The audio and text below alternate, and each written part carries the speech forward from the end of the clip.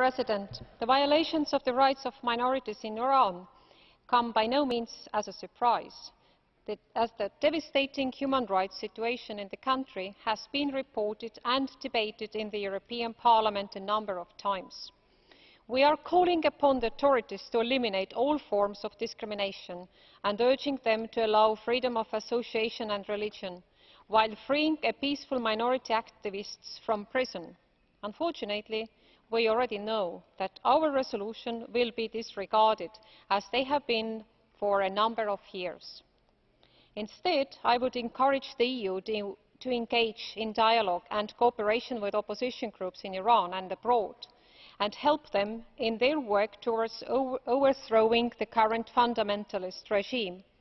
The change in Iran will probably come from within the country, but we should use the opportunity of empowering the democratically minded Iranians to speed up the process. Thank you.